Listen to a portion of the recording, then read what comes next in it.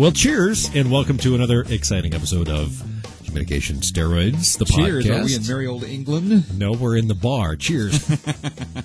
where everybody knows your name? Where and speaking every- of which, yes, I'm Roger Pike. and I'm Tim Gordon. And together, we're Communication Steroids, the podcast. We almost need to come up with uh, like the the Nuthead Twins or something, some sort of name, because that's kind of the way I feel sometimes sitting in a studio with you. But um, nonetheless, I beg your pardon. Uh, it's the podcast which comes out every Tuesday, recorded on Tuesday the week before. We have a teleseminar coming up. We've decided to start doing teleseminars for the uh, spring portion of 2008. And because we think it's a great way to get information out, it's a great way to interact with folks. And one of the things we're looking at is okay, we're going to do teleseminars on things we know about, which uh, you know, obviously, about public speaking and presentations and that sort of thing. I certainly know about that as well as a lot of internet marketing stuff. And so we're going to do a survey. Watch for the invitation in your email in the next couple of days. So, you know, it'll be March 5th or 6th. We're going to send an email out. Please go. Uh, it'll take like 30 seconds to do the survey.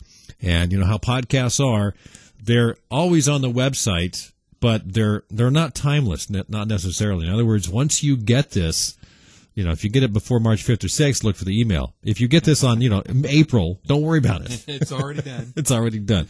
We want to talk today about arguments. Now, what are the basics of an argument? And and and Roger, obviously, when someone says argument, you're having an argument. Well, everyone has an image of what an argument is. Yeah, the first thought is always, you know, uh, you know, your your wife hitting you over the head with a skillet. Frying pans flying. Exactly. That that that's most people's idea of an argument. But that's not the way scholars use the word argument or educators use the word argument. When they talk about argument, they're uh, talking about an exchange of ideas. You know, they have categories of arguments, Right. which which you've researched and have a little information on. We'll share that in a second. Sure. And- yeah, and they have they have categories, they have types, uh, they have uh, an anatomy of an argument, what the definition of an argument is, and it isn't braining somebody over the head with a skillet. My personal definition uh, uh, of an argument is an exchange of ideas, and the anatomy of an argument is this: an argument consists of analysis and evidence. Okay. Analysis in an argument is why you believe what you believe.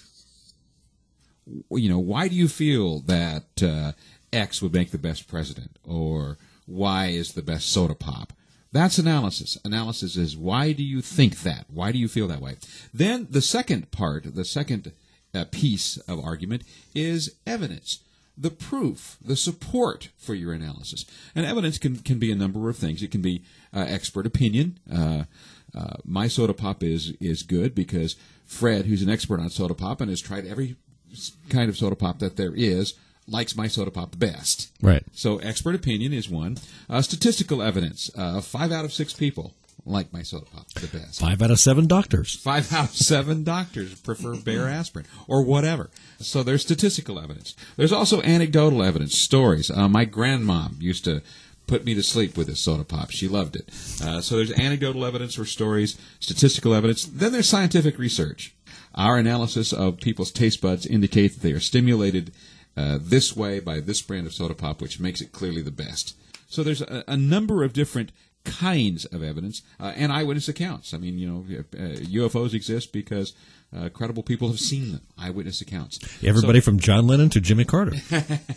has seen one. So we know they must be uh, there. There must be UFOs because eyewitnesses have, have have seen them. And if you buy eyewitness accounts, then then there you go. So there's a number of different kinds of evidence. Most people rely on uh, expert opinion. That's the number one type of evidence that people use uh, in, in in common or you know the, the common scholarly type of argument as opposed to uh, braining your husband over the head with the pan. frying pan. I think an argument, really, when it comes down down to it, uh, is very, very important to public speaking because when you get up in front of people, you are making an argument for people to see your point of view. Really, it, it, it comes down to persuasion. You want to uh, help people discover what you understand to be the truth and move someone even perhaps to a belief and even persuade them to action. So all of that really revolves around what is an argument. How does an argument work? And and you know, and you talk about also the scholarly approach to argument. There's different ways that I've seen it broken down. For instance, uh, there's categories. There's arguments to inform. You want to get your opinion or, or uh, your your viewpoint or information across to a viewer or a reader. Uh, there's arguments to convince. You know, that's again once uh, to persuade people that your argument is sound. It may not necessarily call for an action or uh, work to persuade people. It's primarily centered on getting them to believe you are credible mm-hmm. and then your argument is two. Uh, arguments to explore. This would be where at times your uh, argument is to explore an outward searching argument, where most times the main point is that a problem does exist. Arguments to make a decision. Okay, you've got to decide something. Here's the argument for, here's the argument against. So obviously there's a way to do that. Also, arguments about the past, agreements about arguments about the future, arguments about the present. And, and one of the great examples that I was uh, reading about is, for instance, the president's inauguration speech or a convention acceptance speech are good examples of arguments about the present. And when it comes to arguing, this is a great time of uh, of year. well, I mean, it's been going on for what eight or ten months now. The yeah. the political people, season. The the presidential candidates. Uh, some of them have been campaigning for two years. It, it, it's pretty amazing, but they are in essence, making an argument for your vote. You know, I read uh, Gerry Spence's book. I don't know if you read it, How to Have an Argument and Win Every Time. We've, we've discussed it before. I've not read it, but uh, love Gerry Spence. Yeah, and it talks about this notion of argument as as academics understand it, or as lawyers understand it, as opposed to argument the way that it's commonly thought of. And I think when you get up to uh, make a speech for someone and, and you're preparing your remarks, you are arguing for your point of view, and that's really what it boils down to. I'm actually uh, been committed now. Now this is news to you because I haven't told you this.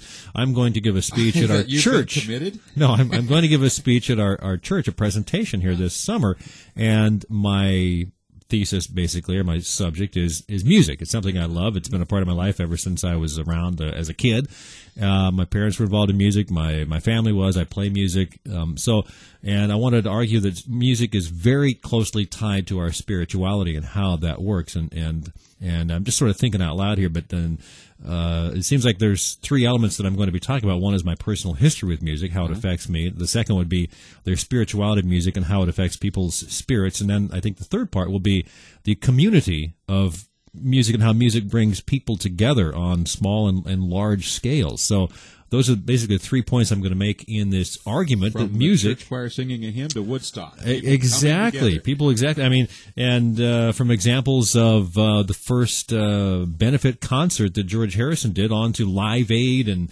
and on and on and on. There's you know how it brings people together and helps support people spiritual spiritually. So uh, that's that's going to be my argument. Mm-hmm in this presentation, which is coming up in August sometime. So I'm looking forward to that and, and kind of thinking about it, mulling it over and uh, it'll be one of the neat things that I'm going to do this summer. So I'm looking forward to uh, hearing it. I hope you come. You, Bring your guitar. All, you know, I'm, I'm, I'm, not sure that I will. After all, you didn't come to my presentation at your church. Yes, I did. You were there. I was. I took pictures of you. I recorded oh, it. Oh, See, you were so into it, you forgot that I was there. I think we can wrap it up. Can we make an argument for wrapping up the show yet? you know what? Uh, I, I think that we have done all the damage we can do for one day. uh, thanks again. Uh, don't forget, watch for our email in the next few days. We're going to ask you.